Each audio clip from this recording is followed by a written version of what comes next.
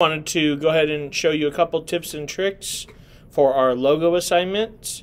Um, one that will really help you out is to actually put a two-dimensional image on your sketch plane. So I'm just going to do TikTok for an example. Find an image I like, right click, and save image as. I'm going to save it in my downloads and I'll call it TikTok. Then I will go to my Onshape. I'm going to create a sketch. Again, do it on the front. Get a good angle. Then I'm going to go up here.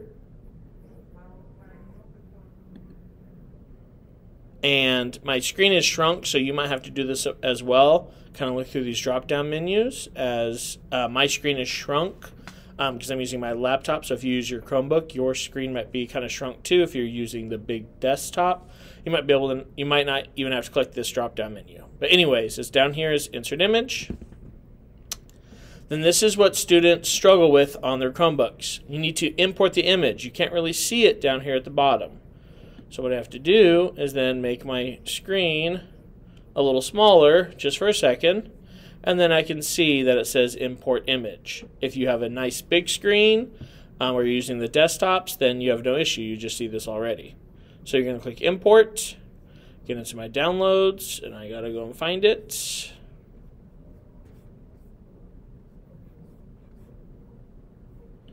As I know I have a lot of stuff. TikTok, wonderful. So now it's right here in my image kind of bank of my Onshape. So I click it, and then I just draw an image rectangle. So whatever, however big I draw it, is how big the image will be. So I'm going to do it pretty big. There you go. So what you should do now is finish the sketch, and I'll show you why in a second. So we have now just have an image that's two-dimensional here on our Onshape. So then we're going to create a sketch again right on the front and we're going to go ahead and draw this. I'm going to do it super quickly. I'm not going to even draw like the entire thing. Um, just so you don't have to watch me do this.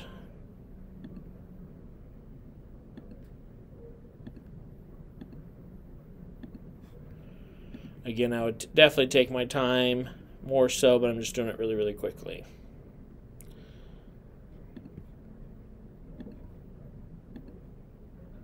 And you just keep going all the way around it until you have a closed loop. And then you'd also probably do the TikTok writing down here at the bottom. And then you finish sketch. So why did I have you do the sketch on a, um, or the image on a different sketch? So when you're done, you can click this eyeball button and it can make the actual image go away. So you can again check and make sure that all of your loops are closed. Now obviously mine's an open loop because I'm not going to do the whole assignment right now on here.